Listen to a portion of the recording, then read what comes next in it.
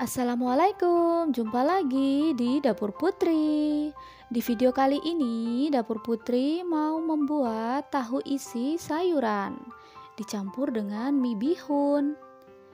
Ini kulitnya renyah di luar dan di dalamnya itu masih lembut ya teman-teman. Kita coba buka. Nah, seperti ini. Langsung saja ke videonya ya.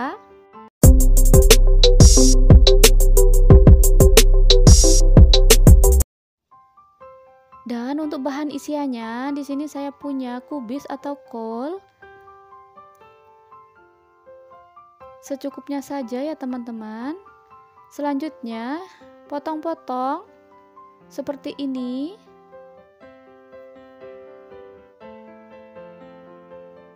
Di sini saya potong kecil-kecil. Jika sudah selesai, selanjutnya di sini saya punya dua wortel dan akan saya potong-potong juga kecil-kecil seperti ini.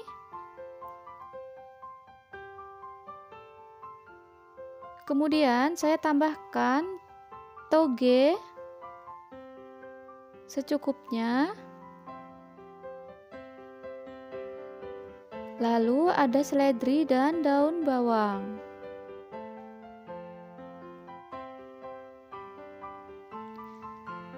Kemudian iris kecil-kecil. Nanti ini dijadikan satu ya teman-teman. Selanjutnya untuk bumbunya di sini ada biji pala sama bawang merah dan bawang putih. Kita haluskan. Di sini saya tambahkan garam supaya mudah untuk menghaluskannya. Ulek sampai halus. Nah, jika sudah halus, kita sisihkan. Selanjutnya di sini saya ada satu keping mie bihun. Saya siram dengan air panas. Dan kita diamkan sampai matang.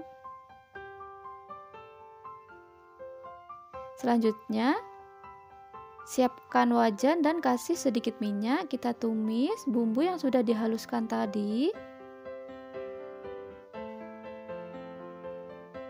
Tumis sampai matang.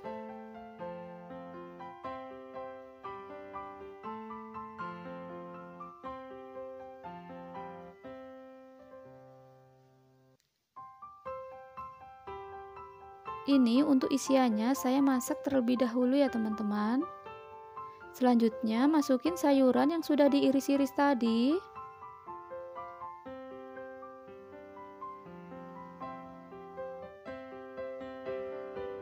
Jangan lupa minyak. Minyak dipotong-potong terlebih dahulu ya. Supaya tidak terlalu panjang-panjang. Lalu aduk sampai tercampur rata.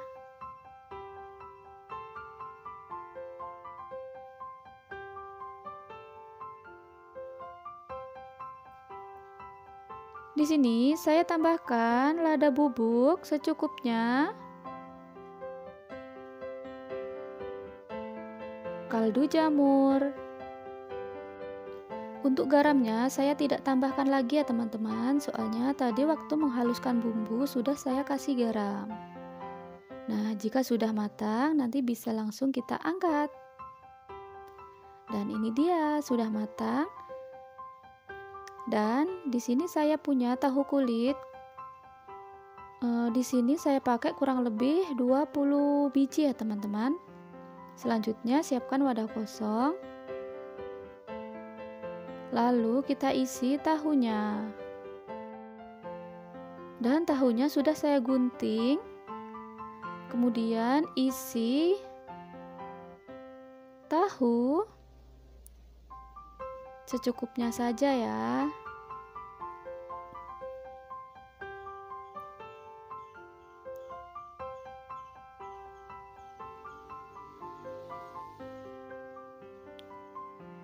Kurang lebih seperti ini dan kita lakukan sampai tahunya habis.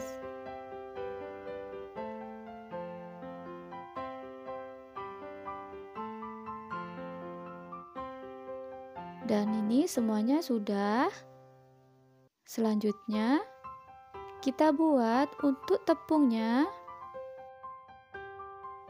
Ada 6 sendok tepung terigu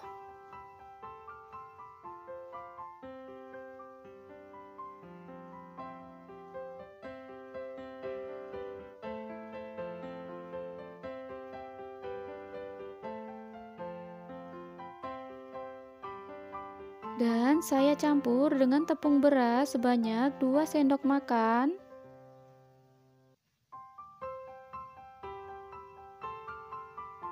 Lalu, tambahkan soda. Secukupnya saja, kurang lebih 1 sendok teh. Bawang putih bubuk secukupnya, ketumbar bubuk secukupnya,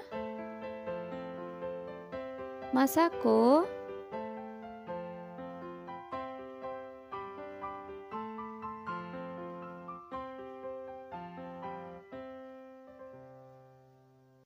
dan garam secukupnya. Selanjutnya, kita tuang air sedikit demi sedikit sampai ketemu kekentalan yang kita inginkan.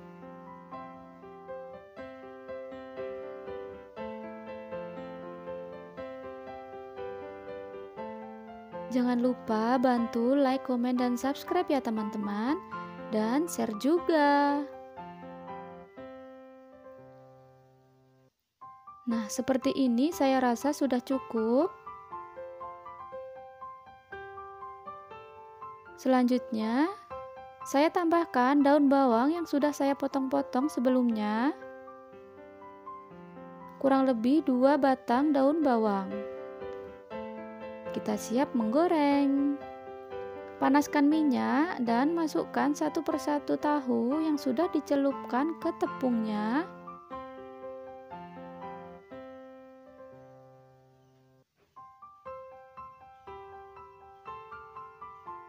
Jangan lupa kita balik.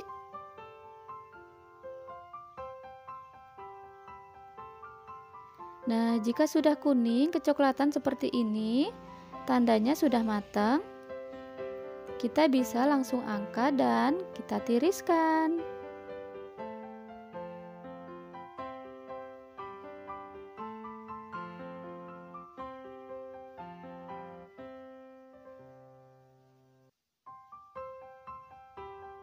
Nah, seperti ini.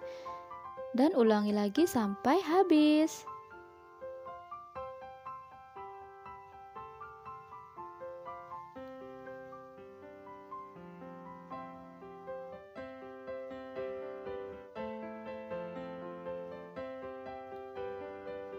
Ini juga bisa dijadikan ide usaha ya teman-teman.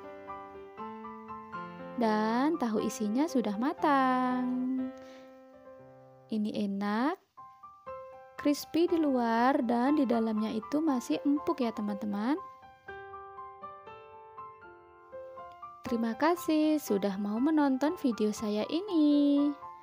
Selamat mencoba ya, semoga video saya ini bisa bermanfaat buat teman-teman.